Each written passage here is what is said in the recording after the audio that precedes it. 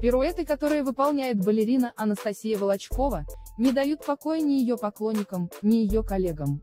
Так, знаменитый шпагат пытались повторить Ксения Собчак, Сергей Шнуров, Полина Гагарина.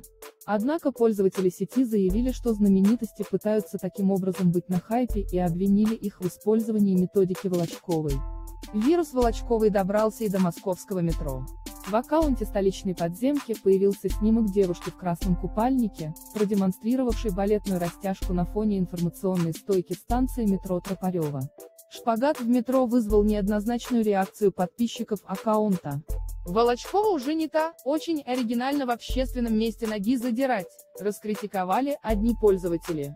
Вот это растяжка. Огромное усилие и трудолюбие приложила девушка, чтобы выглядеть так красиво, спорили другие фоловеры.